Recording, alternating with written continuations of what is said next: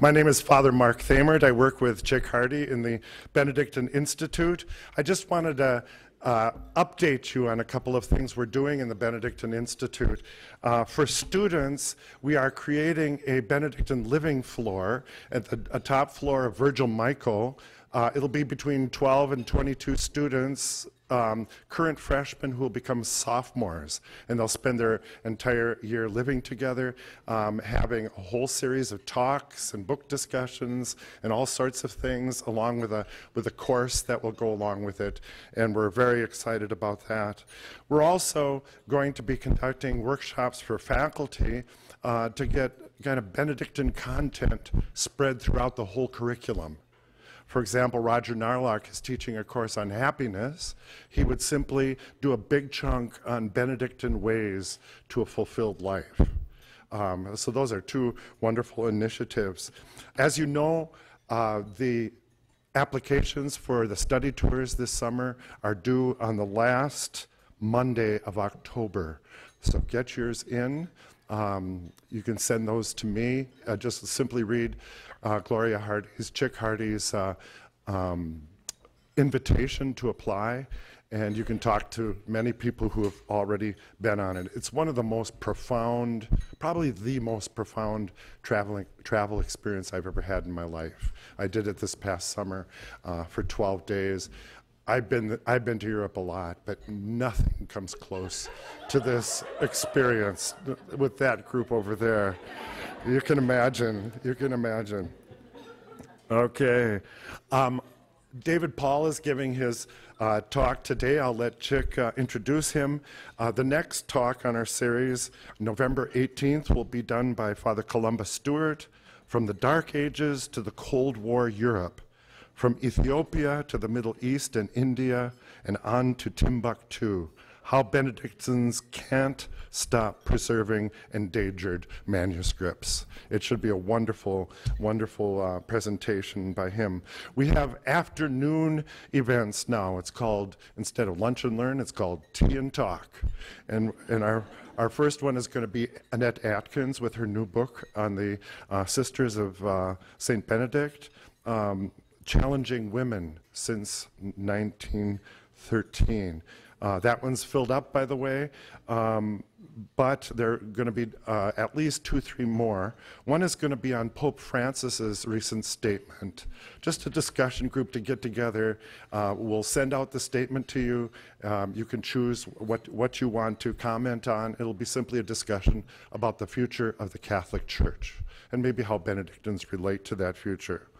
Um, uh, in March, we will have the Feast of St. Benedict. We have a speaker, Gerald Schlabach from the University of St. Thomas, and he'll be talking about a monastic topic. He's, uh, he's head of the Mennonite dialogue between Catholics and Mennonites, and he is also an oblate of St. John's Abbey as, as, a, um, as a Benedictine oblate. We have also a, a series of speakers starting one each semester for five semesters on the documents of the Vatican Council on the, on the exact 50 year date when, they, when each of them came out. And we have some wonderful speakers for that. And uh, I told them I wouldn't disclose the names of the speakers yet, but I'm going to ask Chick Hardy to introduce our, our speaker. Let's give Chick a hand for everything that she does for us.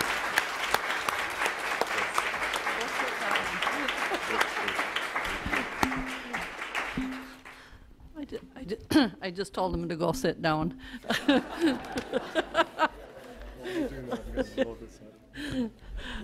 um, okay. Our speaker today, Brother David Paul Lange, he, he joined the monastery in 1986, and for those of you who are doing the math, it's 27 years.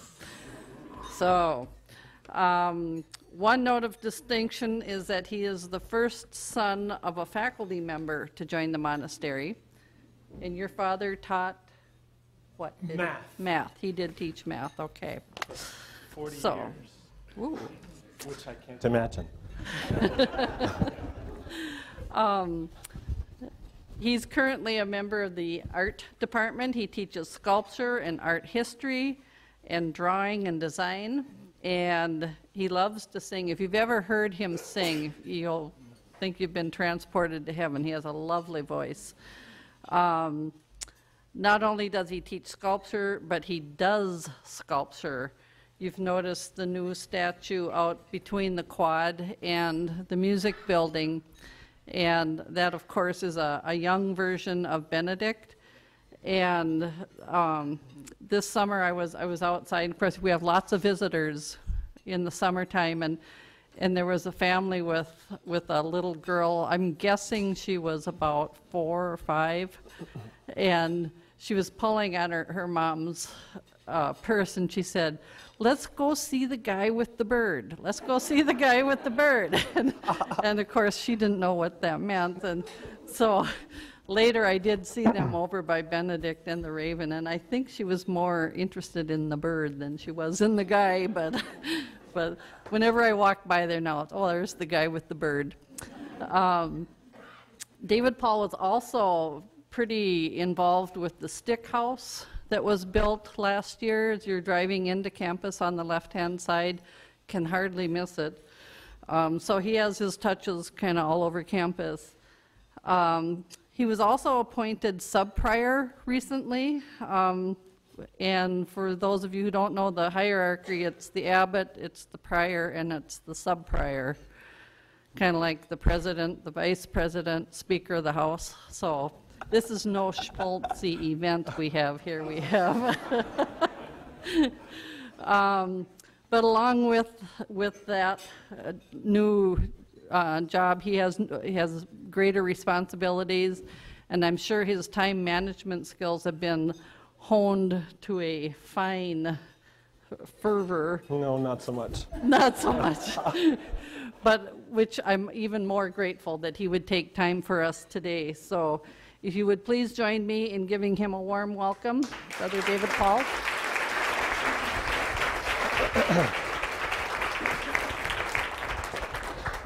Thank you very much. It pains me to close the blinds and turn off some of the lights on such a nice day, but I think it'll be worth it. That's not a great bulb, so the color resolution is not so great on what I'm about to show you, but it's about the images. So uh, what I'm going to do here might not be possible. I'm going to try to condense what is usually about 140 minutes worth of content into 40. Um, so my intention is to whet your appetite, to get you interested, and if you want to know more, there's more. And uh, come and take a class, talk to Father Hillary, because I'd like to make a plug right away for Father Hillary's book. Put it in the light here. Um, Marcel Breuer and a committee of 12 plan a church. Father Hillary is the sole remaining living member of the committee, the Abbey committee, um, that helped Marcel Breuer build the church. So um, he's our living link to.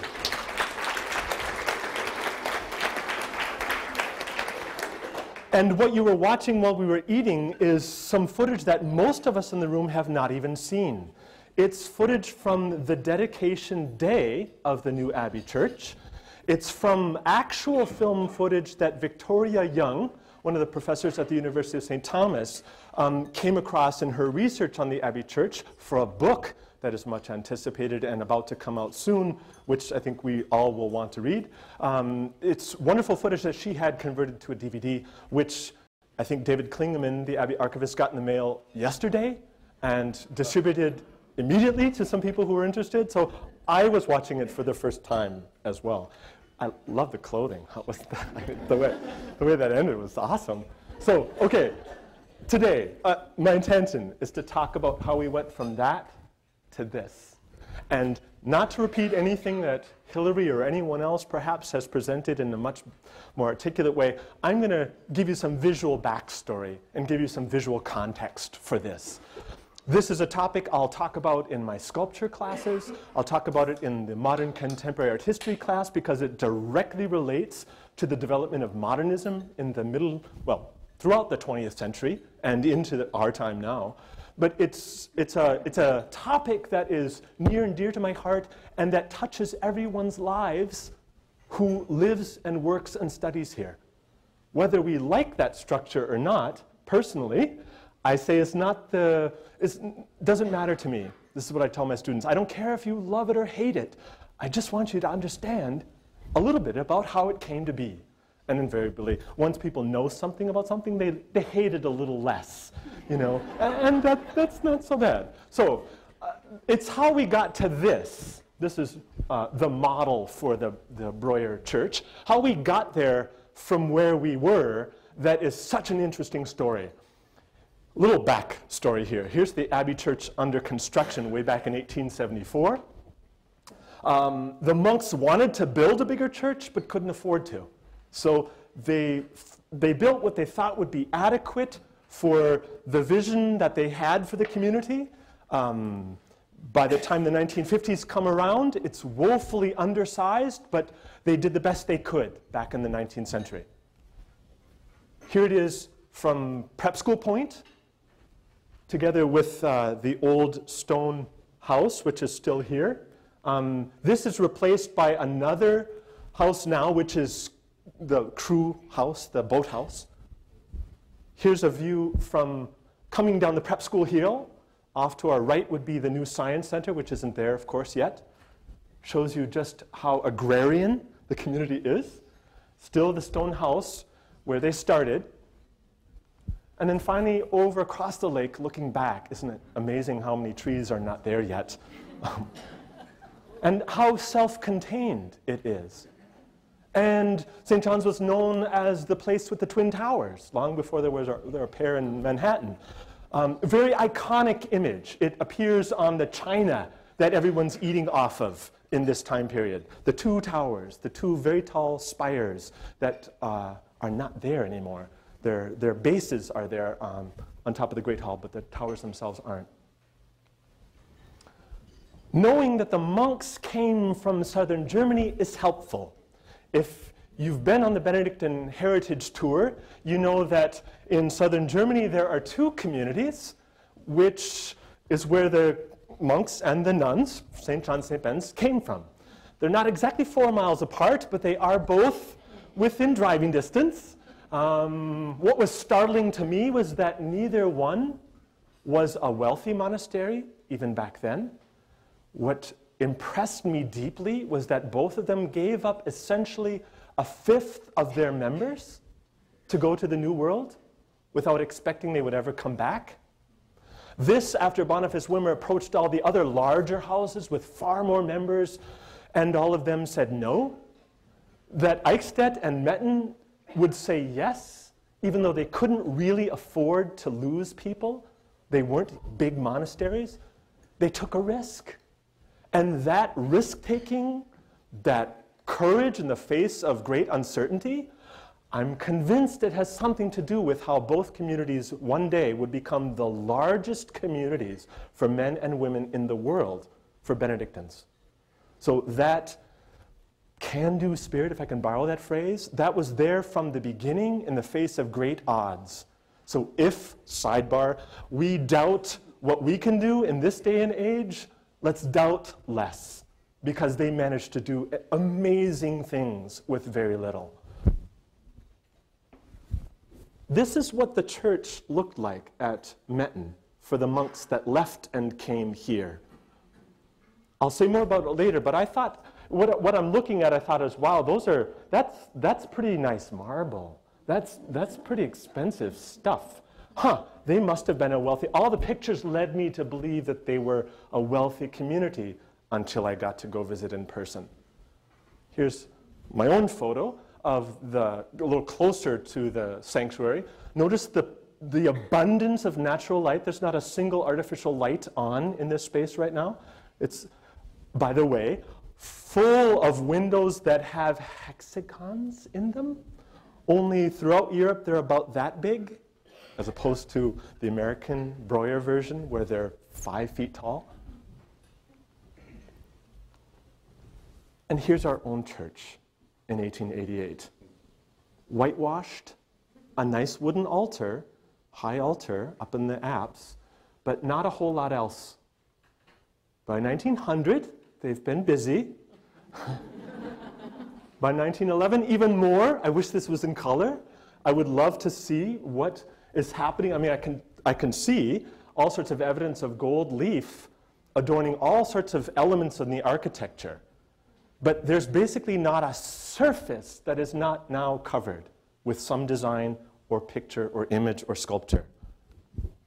By 1933, our bro- brother Clement Frischauf had been over to uh, the monastery of uh, Beuron, thank you, uh, to learn this style called Beuronese art, which I won't go into now, but suffice it to say, it's a fascinating story, this new style of art that a monk there by the name of Desiderius came up with, literally, because he wanted an art form that would seem to go with the music that they were using and singing every day, Gregorian chant, which, if you've heard some, you know it's not polyphonic. It doesn't have harmony. It's a beautiful single sung line. And why would the artwork, Desiderius thought, be so romantic and full of Sturm und Drang when the music we're singing is much more simple and stately and refined?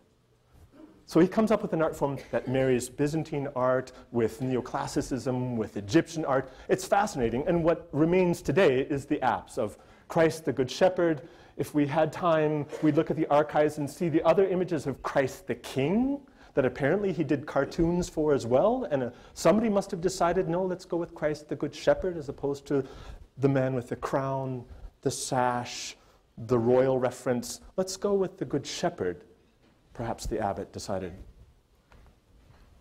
And if I put the two images side by side in black and white to keep them fair, um, you can see that the styles themselves are different, but the inclination to fill the spaces, to adorn them with imagery and ornamentation that befits a place of worship of God, you can see that they're similar.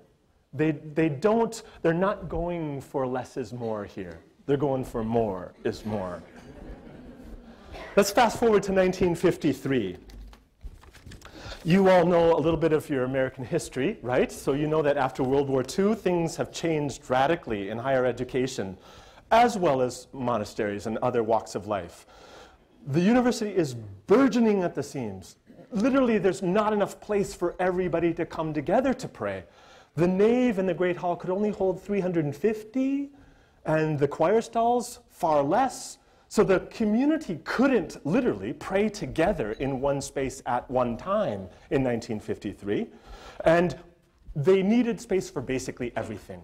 Abbot Baldwin writes the most amazing letter dated March 7th, 1953, in which even his first two sentences are telling. Dear sir, I'm writing to you to ask whether you'd be interested in preparing a comprehensive building plan, a report for St. John's Abbey. We must build in the near future. And we believe that we shouldn't begin any construction until a plan has been prepared that will provide for our long range needs so that all of our buildings will form a complete and unified whole. He's borrowing language right from modernism, by the way. Uh, he knows what he's saying, and it's an astounding sentence. Mind you, that's not what we got. Our buildings don't form aesthetically, much less stylistically, a unified, complete whole. We have instead a postmodern, sort of eclectic mix of things, and that's good. That's very good. But the intention, right off the bat, was to design for long range needs on this plot of land so that all of the buildings were going to somehow form a complete and unified whole. He says if we are a new institution, easy. If this plot were empty and we were to start from scratch, no problem. However, we're three years away from celebrating our centenary anniversary of our founding, so we have buildings already here. This, to any designer, is a challenge. How do you work with existing structures and forms and somehow add to them with perhaps a brand new aesthetic, something that isn't there yet, with materials that aren't there yet? How do you do that is no easy task. It's a challenge for any designer, but a good one will love it. Huh? Give me limitations, give me challenges. Let's see if we can work with what your need is to provide for it better. The letter goes on. He describes who we are, college, prep school, seminary, uh, foundations of the Bahamas, Japan, and so on and so forth. And then he comes to the most interesting part of the whole thing. Before I get to it, though, I think I have included a few of the names of people that he wrote to. Walter Gropius, Belluschi, Saarinen. Here's some examples. Gropius, who was one of the founding members of the Bauhaus School, which I'll introduce you to in a moment, um, is a very, very well-known architect. Belluschi did the Juilliard School, ultimately in Manhattan. Saarinen, you're probably familiar with, did the Arch in St. Louis and the JFK Terminal. Beautiful, elegant, sloping roof line. Amazing, just beautifully simple forms. Neutra was mostly known for his houses, as was, by the way, Breuer at this time. Murphy, very, very simple interiors for worship spaces. Um, Murphy had actually designed some churches already. Breuer, mm-mm. And then our man of the hour, Marcel Breuer himself, who was far more known for his residential properties, as well as some larger communal structures, but more for residential. And he was Hungarian with Jewish ancestry. Very curious, very interesting the letter. He identifies the needs. He says, after all, sitting all of these, we think the church is what we want to go for first. We think that's the most important thing that we need to design as a place for us to come together as a whole community to pray and worship. Although this present proposal, he says, concerns the comprehensive plan, we're most interested in building that church which will be truly an architectural monument in the service of God. He's not aiming low here, he's aiming for the sky. Sheer overcrowding is forcing us to expand our facilities, and we don't want the mere material exigencies of the situation to determine our architecture. Meaning, if I break that apart, just because we need a church that'll seat 2,000 people, we don't want to throw up a gymnasium something that looks like crap but seats 2,000 people. So we want to be mindful of the form of the thing. We don't want just the function to dictate everything. And then it gets really interesting, and you've probably heard the next sentence before. The Benedictine tradition, he says, at its best, challenges us to think boldly, to cast our ideals in forms which will be valid for centuries to come, shaping them with all the genius of present day materials and techniques. It's an astounding sentence, an astounding one for an abbot to say to an architect think boldly, think long term, because Benedictines do.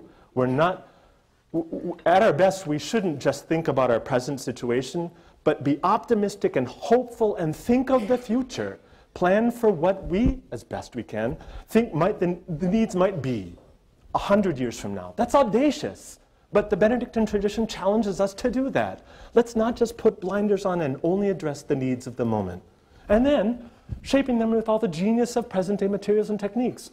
We are not Amish. Uh, and I mean that in no, no derogatory way. But Benedictines have never been suspicious of technology, have always embraced it. If it could make farming easier, then let's use this new tool, this new machine. Let's use it if it can make the life of the community better. I think that's significant. Benedictines will embrace new technologies when they're at their best to serve the community's needs both now and towards the future. We think, oh, sorry, then he says, what for me at least as a designer and in my art classes is an even more interesting sentence we feel that the modern architect, with an orientation towards two things functionalism, which is not so hard to wrap our minds around, and I'll show you some examples, and then this honest use of materials is uniquely qualified to produce a Catholic work. Notice he doesn't say you need to be Catholic.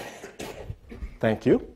If you can do the job, if you can listen to our needs and design it, we don't really care. The need is what's paramount here.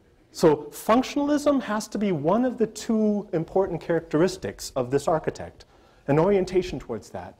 But then this honest use of materials is uniquely qualified to do this for us. So I always ask my students, let's talk about that and talk to me about that. First of all, if we were to use a few monikers for, for modernism, they, you've heard them before, form follows function or function dictates form, talks about that intimate relationship between form and function. Neither should be more important than the other. In modernism, in the philosophy of the time, it is a desire to try to unite the form with what it does, and to not give too much to the form, and certainly not to undermine the form, so that it can meet the function, but not more than that, not go overboard. Can we live within our means from a design standpoint? Is perhaps another way to phrase it. Can we live within our means? Can we can we design our lives to fit the function of them and let go of things that aren't so necessary to the function? One of the first truly modern houses, note the date if you can see it. Uh, Corbusier, Villa Savoye, outside of Paris, recognized as one of the first truly structured, modern structures for a dwelling for all sorts of reasons. Its geometry, its pure white color, um, the, the use of materials like glass and concrete, the all-encompassing built-in furniture and furniture designed by the guy who also built the house and designed the house. By the way, the, the garage was under the house and the turning radius supposedly was perfect for a 1928 Citroen where you could drive around and then the garage was what you park in at an angle it had three very curious ways of going from one floor to the next that didn't involve traditional stairs. And then it had this very curious rooftop garden. Again, all white, with a window that framed the landscape beyond but didn't have glass in it, and there's no roof over it. Very curious. Eh, eh, it got everyone's attention in the architecture world. A quote from him. We don't, and we don't want any more of that stuff.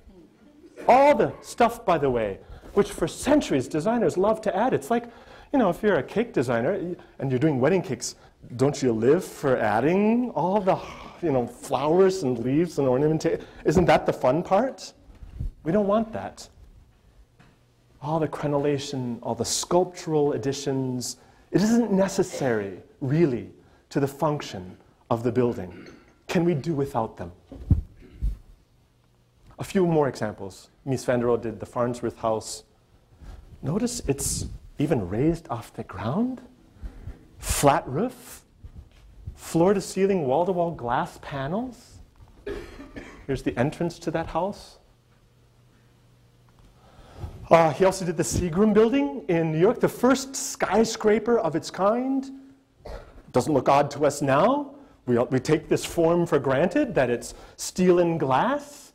Nothing at the top, nothing at the bottom, nothing by way of extra ornament. This looks like so many buildings now, but can you look at it in context and see how startling that is for its time? Not least of which is the fact that he left the front part of the square footage empty. This is some of the priciest real estate on the planet, and he leaves it empty?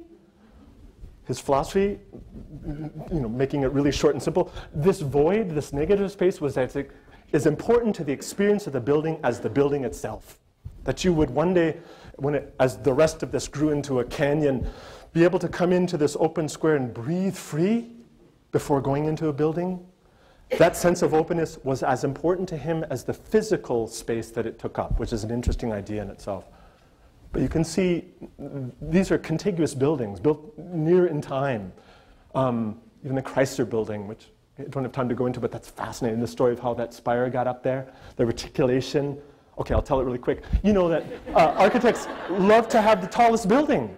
And that designer um, crunched the reticulation inside and didn't let on that one day, very near the end of its completion, because there was another bank building going up down the street taller than this one, until a week before finishing, it became the tallest building. Sorry. It rests on a bed of light, it's beautiful. And Philip Johnson lived in an actual glass house in which you shouldn't throw stones, but which you, shows you everything it's made of. Bricks, steel girders, clear glass. It's showing you everything and even how it's put together. Quintessential modernism. Sorry, I guess Neutra also here's an example. This is interesting, don't have time to go into it, but the fact that you could take away the corner of the building, cornerstones, along throughout architecture history, cornerstone's the most important piece because it's, it's the point off of which you measure all everything else. And the corners usually had to be solid because you wanted your walls to stay perpendicular to, to each other and not collapse in or out. So the, the fact that now you could join corners with glass and effectively erase the corner, it's like a paradigm shift in architecture. But back to the question. What's this honest use of material all about? And rather than doing Q&A, which I would do, and it would take a while to try to flesh out what people are thinking, I'm going to fast forward. Um, let's just look at these two elements. There's no question that that's a steel girder. But what's this? What is that? What is that made of? If you think marble, the artist who Trompe l'oeil painted that would say, thank you, oh, I'm so glad, you know? Because there's not a marble quarry for thousands of miles from here. You've got to go down to Tennessee or out to Vermont or something. There's no marble quarry here. But back home, a church had marble pillars in it. And if you can't afford it, then you do what everybody does you improvise. And you make it look like something it's not so that you can make it look better. I can't fault them. I think it's phenomenal. I absolutely admire that, that ability and that inclination. And I discovered back here at Metten that, in fact, when you look a little closer and you just poke around and it's like, you know, pay no attention to that man behind the curtain, you see that that's actually crumbling plaster. They've painted 90% of the stone in their church as well. So the monks that came here came from a tradition of make and do, of improvising, of being creative, to make it look better than it is so as to give glory to God. Now that works if you think that the only way to give glory to God is to use marble or something expensive. But if your philosophy changes and you can see the inherent beauty in very ordinary materials like clay, like ceramic, like concrete, then you have more options. And then suddenly you don't have to pretend. You don't have to make it look like something that's not, make it look better, but in fact, you can use materials and not only use them for what they are, but even show you how they're made. You can reveal the process of the making. Quintessential modernism. Last but not least, anybody be bold? What, what architecture style do you think that is? What would you name it? What would you call it? If you were thinking Romanesque, ding ding, you get the prize, but look at the dates for Romanesque. Huh. Here we are in 1955. Really? Do we have to use a style that's a thousand years old? Can't we try something new? With genius of present day materials and techniques? If I use a timeline and just show you, Roman, Romanesque revival goes all the way back to Romanesque, which goes all the way back to the Romans. It, it, got its name because it was mimicking a Roman style. You could arguably say Romanesque, the Great Hall is actually designed in a style 2,000 years old. So a modern architect, to make a long story short, would probably propose that we try something a little more of our time, a little more of our place, especially if you want me to think boldly. Then let's design something brand new. We're here on this timeline. 1955. Look at all the movements that have happened since then. Surely we can come up with something of our own time and place a few more samples. I would point out, if I had time, some of the similarities in with Maria Laach, just the, the architectural elements that appear in our own Great Hall that appear in their church. But to even throw in another quick aside, uh, if this is the floor plan, the traditional T form, you've all seen it before, um, it no longer follows that, the Abbey Church, right? And if I make the story of architecture itself even more simple, um, you could say that architecture is all about designing a space so that it's protected from the elements. What you do in it, that can vary. How you do that, that can vary, but its essential purpose is to somehow protect a space, to define a space so that certain things can happen in it. Back in the Romanesque period, they had to really buttress the thick walls, usually below ground. You don't see this stuff usually, but buttress them so the walls don't collapse out. With the weight, darn it, the weight of that ceiling, that's always the big problem. How do you hold the ceiling up? so that it doesn't collapse. How do you do that and then span a big area?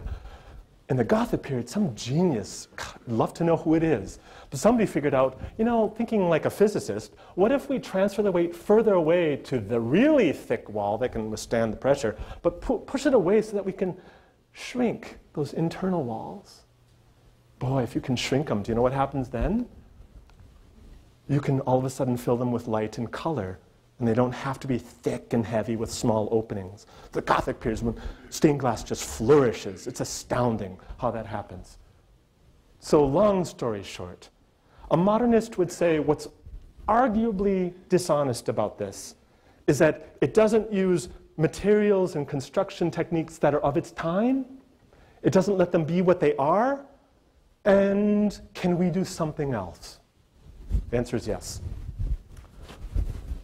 Bauhaus, 1919. Suffice it to say, a new school crops up after World War I in Germany that has a whole different philosophy about teaching architects. To make that wonderful long story short, their idea is that an architect should first learn how to work with all sorts of materials before designing a building. You should, ideally, know how to design your own furniture, how to design your own textiles, your own typography, so that your building one day could form a complete and unified whole. You designed all of what went into it, rather than delegating. You know, so often is the case in a firm. You got to delegate because you got to keep the projects rolling. So you know, you have a team that does lighting, you have a team that does typography, and so forth. No, the Bauhaus school thought the better way is to treat all the arts as equals. Nothing, nothing is dishonorable about being uh, a furniture designer. In fact, Marcel Breuer ultimately becomes the head of the woodshop, the furniture design guy. He uses bent steel tubes and he does amazing things. And there's a reason, therefore, by the way, that the Abbey Church, with all of its oak, is not splitting, cracking, warping, or doing anything that you don't want wood to do. He understood the principles of wood and what it can do for you and designed accordingly. So their school is amazing. You had all sorts of time spent in various wood shops or shops in general um, after studying building techniques and all this sort of thing. And only then, for the last two years of the five and a half year program, did you start designing buildings. That's, that's the world out of which Marcel Breuer comes. Design it all. Design it so that it forms a complete and unified whole. If we were in his furniture design class, he'd say, So, what's the essence of a chair? you sit on. You're sitting on one right now. What, is the, what makes a chair a chair, not a bench, not a stool, not anything else? Well, it has a back, it has a seat for one, and then it's stable. That seat is at a certain height, by the way, usually 17 to 19 inches maximum, somewhere in there, um, so that it's stable. Does it need four legs to be stable, though? If you're thinking outside the box and you're thinking like a modernist who says, how can we meet the function with a form that doesn't dominate more than it has to? Does it need four legs? Could we maybe do three? Well, no. Thank you, though, James Croke. That's too tippy. That's a nice sculpture. That's considered a sculpture because it's not functional. Breuer says, I think I can do it with two. How about a chair with two legs? And arguably one if you didn't pay attention to the scene there. One leg. How about one bent steel tube leg? How about that? Oh my gosh. Strip away things that aren't important to the essence of the form. And in a nutshell, he designs all sorts of furniture in the same vein, as do all of the other modernist architects and designers.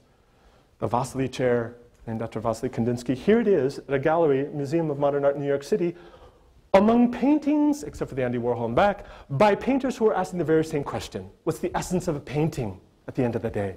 Does it really have to tell a story? Is it just rather pigment on a surface? Can we strip painting down to its essence? So are you getting the idea that the, the, the mind frame that all of this comes out of is a desire to get to the essence, to the core? And can you also hear how that might be interesting to monks who are trying to do the same thing effectively spiritually? Can we trim our lives down so that we are living within our means, that we don't acquire everything we want, but in fact use what we need, and so on and so forth.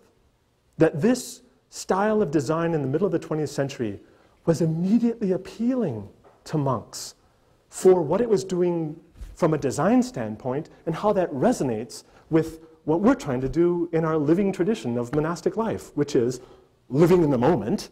Okay, I know we have a 1500 year tradition, but it's dead if it's not alive now. How do we live in the moment, and how do we live our lives simply, pared down, with dignity, but without all the extras, all the poofs of gold, and so on and so forth, to borrow Courbet's language? By the way, the interior of the glass house by Philip Johnson. The furniture was meant to go with the building. That's quintessential modernism. By the way, leave out postmodernism, which loved now to mix things. You might have a Louis XIV armoire with a, you know, a shaker chair in a modernist, you know, you can mix it up in this era. But in the middle of the 20th century, it was a desire to try to be purist about that. Can we really get at the essence and let go of everything else? Here he is as a young man, here he is near completion of the Abbey Church. Here he is presenting his designs to Abbot Baldwin and the community. He did that often. Uh, this wonderful book by Hilary will, uh, this is fantastic. If you have a day on long weekend, to, you could devour this in a day. It's a page turner. It's fascinating. Um, but the dialoguing never ended. It was one of the reasons, by the way, they chose Marcel Breuer, if I'm, if I'm quoting this correctly, Hilary, because he was such a good listener, among many other things. But he was a good listener. If he came up with an idea and then presented it, and then the monk said, Yeah, but what, mm, what about this? What, what have you thought about that? Could you? He didn't hesitate, effectively, to go back and try to do better, to change it, to meet the function. The only way to arrive at that form function combination was to listen carefully to the function, especially if you're not a monk. So you got to listen to what they were doing. Back to that aerial view. He gave them a master plan, by the way. Here's the model for it. Imagine everything like Tommy Hall, everything in poured concrete. I mean, don't get me wrong, I like Tommy Hall, some aspects of it. I love the wall to wall windows. The light in that building is crazy good. But I'm not so keen about a whole campus that looked that way. He thought very carefully about zones of function and everything like that. He designed, as you know, the library with its two trees of knowledge and wisdom. Another innovative way to hold that heavy roof up. It's always about how do you hold the roof up in the Abbey Church, he uses the folding technique, which is phenomenal. It's genius to hold up all the weight like that without a single column. The runner down at the four way stop, the athlete. Have you seen that? Did you know that? He went through many models of the original facade of the church, and I'm glad it didn't stop there. That's a, that's a little clunky. That's a little. Mm, Eventually, the honeycomb pattern comes in only on a far larger scale and more dramatic shape than it would exist in any other window over in Europe. It's amazing, just amazing. A great symbol, too. Just beehive, worker bees, everybody working together. It's a great symbol with such rich uh, connotation. I'm going to go rather quickly because I want to at least show you a couple more things. I started with the monastery wing, by the way, and if I flash this up, you can see the association with the Farnsworth House, right? White, geometric flat. But it's this thing that I just want to pause on.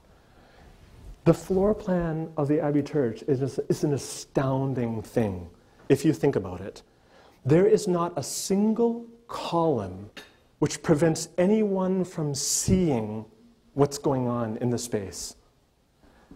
Through pure inventive genius alone, he managed to hold up everything, including a cantilevered balcony with legs that are behind everyone. Not a single person has an obstructed view anywhere, like in this room right now. Hi. And it's like, you know, that was not supposed to happen. The, let's include everyone in one room was the goal. Is that possible? Can you see 2,000 plus people in one room with not a single pillar? But more than that, do you notice the shape? It's not the T anymore. Students say it looks like a lamp or a Christmas tree, you know, all these various things, which it does. Um, and it's also interesting that it's on a north-south axis instead of east-west. Broke with that symbolism for a functional reason that I can't go into now. But more important and more interesting and more kind of curious to me is that it looks and has almost the exact shape of a bell he mentions a bell. And in fact, the Walker Art Center, with its wonderful uh, um, uh, uh, uh, article when the Abbey Church was dedicated, comes out and mentions that it was, it was, it was in his thinking. But I don't, I don't know that anyone's pursued that or just even brought out some of the connotations of that. I'll just point out a couple. For one thing, without baptism, which the monks had insisted go back to a more prominent place at the front of the church instead of being relegated to the side of the transom, you know, some, some place of lesser importance. They went back to the older, more ancient placement of it at the front. And not just at the front. Without a clapper, that little metal ball, seemingly unimportant, you don't you rarely see it even. All this is glorious, but this doesn't make any noise without that. And you don't have a body of believers. You don't have a church without baptism. It's an interesting comparison to make. Um, what else can I say? Um, this altar got pulled away from the back wall into a central location. If you caught it on the footage I showed you at the beginning, do you know that the bishop was facing the people from day one? um, that they could do that, that the monks could be circled around the altar and function there daily, but then also include everyone in one room when it called for it, when the Eucharist was the whole community to celebrate. Ah, that is an oak cross. This is one of the other really, really interesting elements to the church. Um, this isn't that. This doesn't do that. This is an arrow. The steeples are arrows. They, you know, when, they, when you hear the bell ring and you're looking across your farm field, it's like, oh, yeah, church time. Remember God. Well, effectively, that doesn't do that at all. Um, Breuer admits that one of the interesting things he came across when traveling in Greece as a young man were these freestanding towers with a bell in them that you could see swinging and a cross on it somewhere. A freestanding tower. And could he adapt that in this case with a really bold shape that showed you the bells swinging rather than enclose them into two towers where they were, the two twin towers? You heard them, you never saw them unless you were one of the lucky monks who got to swing on them. Um, but you never saw them ring. And you know, and I know when they're all five ringing, which has been a little while, but you know, uh, they're a stunning sight. They're beautiful to watch, even as they are to listen to. So uh, that idea of making a structure that would do that ultimately draws attention to the land as opposed to the sky. You could make all sorts of connections with the theology and the growing interest in connecting to the community of believers seeing God in the community around us and not just in some distant heaven physically, rather here among us. And that flat roof, that flat top, arguably from a design standpoint, I mean, I'm paying this. Like, imagine this is a composition, this is a painting. I see the parallels. I'm looking at the land, not the sky. Just from a design standpoint, I'm looking at the land. I think it's brilliant. It's a brilliant stroke. Mind you, it's not a dull building. Once you get under that bell banner especially, it's pretty dynamic. And last but not least, uh, I'm trying to stay very close to the 1230 time. The, the materials are pretty simple. He says, good Lord, you're sitting on one of the world's largest depositories of granite. We got to use some of it somehow. Um, but clay for the floor, concrete, oak, gosh, you've got a whole forest of it. Let's use it. It's a beautiful material for furniture. Let's use it. Glass and metal. This is what I love. That concrete, I don't know if most people appreciate it or see it very often. That concrete shows you every wooden form into which it had been cast. The wood in spirit is still there. The texture of all the wood is still there in all the concrete. You can read it today. That to me is astounding. Talk about honesty of the making and revealing the process. It's everywhere in there. And especially at night when there's uplighting on the walls, it comes out even, it looks like fabric. The, the walls of the Abbey Church look like fabric to me, which is amazing.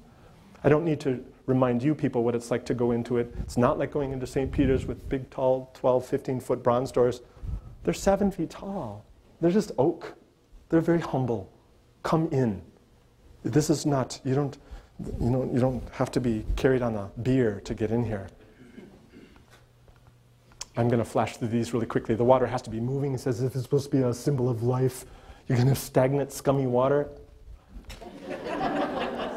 There's the nod to the times. That's how big baptismal fonts were in 1953, 55, 59.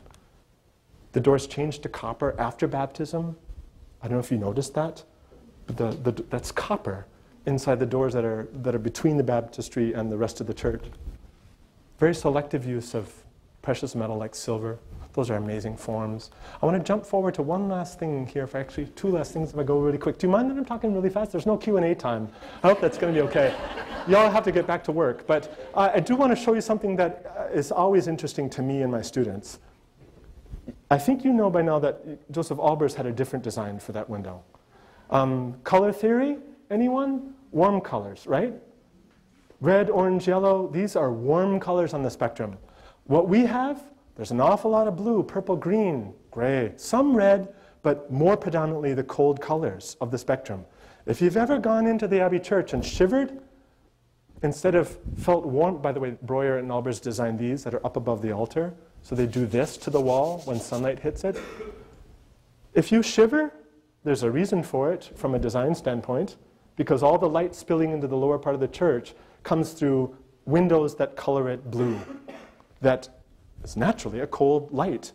Versus if we had actually gone with Albers window, I, can, I don't know what exactly it would look like, but it'd be on the warmer end of the spectrum for sure. Oh, I love this. This is uh, Ham Smith, this telegram, um, when the, the committee that uh, Hilary can tell you about voted in favor of that Bak window. Um, he sends this telegram Church votes Bak window. Should we go to last ditch action? I don't know what that last ditch, action, last ditch action is. What did they do? I have no idea. Whatever, it didn't work. We didn't end up with that, but oh well, there it is. Last but not least, it's, it's a splendid space when it's filled.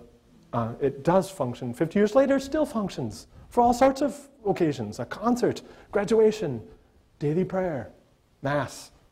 It still functions very well. It's a challenge for us with fewer monks to be heard with each other at office, but it still functions beautifully well. Music still sounds glorious in that space.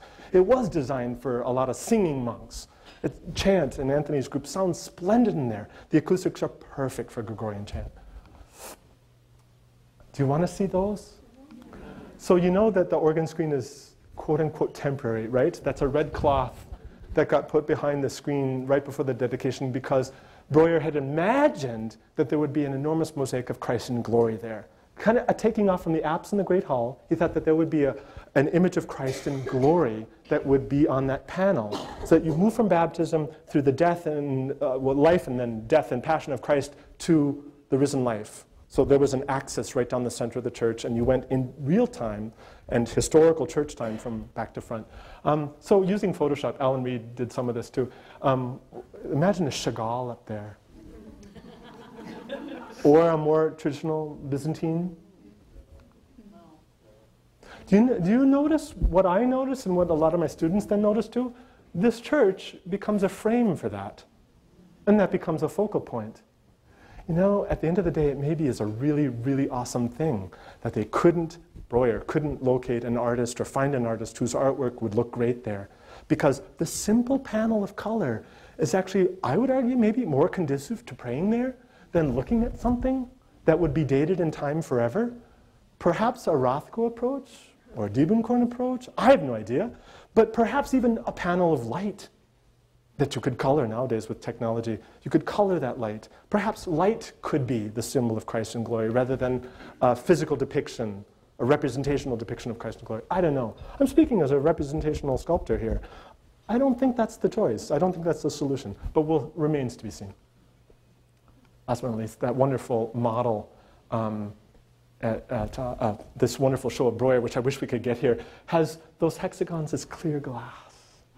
I'd love to see the bells ringing from inside the church, but unless a tornado comes and only hits out those windows and leaves everything else intact, I want to leave what we got.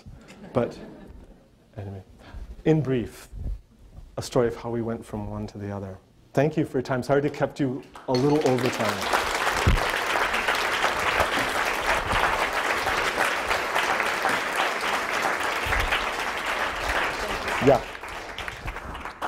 Thank you, David Paul. I'm ready for round two. I don't know about anyone else, but um, let's thank him. So,